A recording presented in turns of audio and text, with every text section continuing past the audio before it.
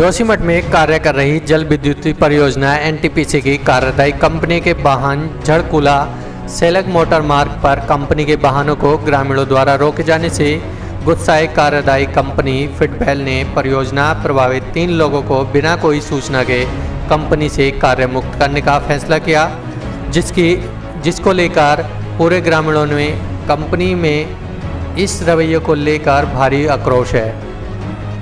जिसको लेकर ग्रामीणों ने मंगलवार को परियोजना साइट पर तालाबंदी कर परियोजना कार्य बंद करवा दिया। बताते चले कि ग्रामीणों द्वारा कई बार शासन प्रशासन को झड़कुला सैलग मोटर मार्ग बनने के लिए ज्ञापन दिया था, क्योंकि इस सड़क पर एनटीपीसी और उसकी कार्यदायी कंपनी के भारी वाहन आवाजाही करते हैं, जिसके बाद लोक निर्माण विभाग द्वारा तीन किलोमीटर दूरी वाली सड़क पर, डेढ़ किलोमीटर सड़क पर पेंटिंग का कार्य किया गया है। बाकी डेढ़ किलोमीटर सड़क अभी भी खतरनाक बनी हुई है, जिससे भारी वाहन के आवाजाही करने से भारी नुकसान होने की संभावना है। बता दें कि 6 जून को ग्रामीणों द्वारा कंपनी की कार्यदायी संस्था फिटवेल कंपनी के वाहनों को सड़क मार्ग पर जाने से ग्रामीणों ने रोका था, जिसके बाद पुलिस प्रशासन और तहसील प्रशासन मौके पर पहुँचा था। प्रशासन की उपस्थिति में एनटीपीसी के आर और विभाग के उप महाप्रबंधक ने गाँव में आकर सड़क संबंधी मामलों पर बात करने का भरोसा दिया था। लेकिन ग्रामीण उनका इंतज़ार करते रहे, लेकिन कंपनी का कोई भी अधिकारी नहीं पहुँचा, जिससे ग्रामीणों में भारी आक्रोश है।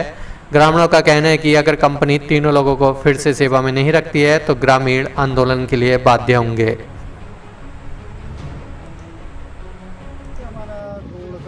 मुद्दा था पहले, सबसे पहले यही है, जो सिलंग गाँव को जोड़ती है, ठीक है?